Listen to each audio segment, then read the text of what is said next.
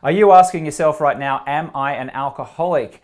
Maybe you drank too much over the weekend. Maybe you've said the wrong thing. Maybe you're drinking a lot and you go, wow, maybe I am an alcoholic. This is getting a little bit too crazy. Relax. We're going to figure it out for you right now, okay?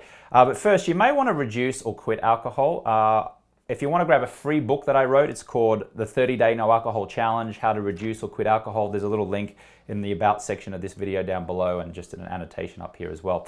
So, uh, I used to drink a lot. I was probably what you call a social drinker. Uh, I drank, uh, you know, three or four drinks a night, a couple times a week, uh, you know, midweek. And then on the weekends, I'd really turn it on and I would binge drink. You know, I'd chug pitchers of beer or I'd have Sunday afternoon um, uh, mojitos with friends and, uh, you know, wake up feeling on, on a Sunday or Monday or Tuesday feeling like hungover and go, oh my God. And then I'd go out and drink with colleagues or friends on a Monday, Tuesday night, and I was like, am I an alcoholic? Uh, and I kind of broke it up into five types of drinkers um, uh, the occasional drinker, the social drinker, the binge drinker, the compulsive drinker, and then the addictive drinker, which is what you might uh, term an alcoholic, okay? So uh, these are my little notes here, by the way. Uh, if you're an occasional drinker, it means that, you know, on occasion you might have a drink or two. Maybe you're celebrating something, no big deal. If you're a social drinker like I was, I was between sort of like a social binge and a compulsive drinker. Social drinker means that when you go out and you're, you're with friends or family, you're drinking and maybe you drink a little bit too much. Sometimes you get hangovers, but you think you got it under control. Okay, so you're not really an alcoholic then.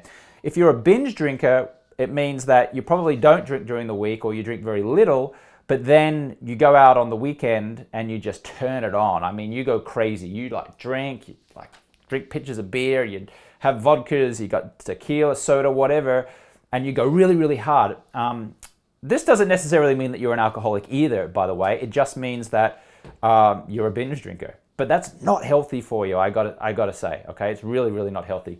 Um, and then uh, and then you've got the, uh, the compulsive drinker. The compulsive drinker where it's like you get stressed out and you need a drink. You feel like you need a drink to relieve you of your stress. Again, this doesn't mean that you're an alcoholic. It just means that you're compulsive about drinking. If you feel like you need a drink to relieve you of your stress, okay, then we've got to look at that. But again, it doesn't necessarily mean that you're an alcoholic.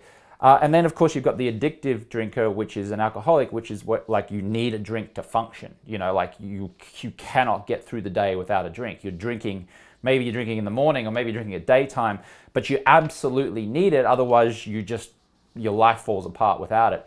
Um, now, look, just to be clear, I am not uh, a, a doctor. Okay, I'm just a guy who was uh, between a social drinker, a binge drinker, and a compulsive drinker for a number of years, and then I quit I quit alcohol for 30 days and then I just stayed quit because I felt amazing.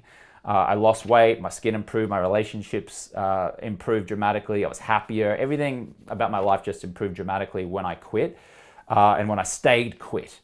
Um, so, uh, if you are drinking heavily, like on the weekends and, and binge drinking, and you're tired of being hungover, it doesn't necessarily mean that you're an alcoholic but it does mean that you might want to reduce or quit alcohol. You might want to re explore your relationship with alcohol. If you feel like you need a drink, like you have to have a drink and you need it to be able to function, please do um, consult a doctor and get professional advice.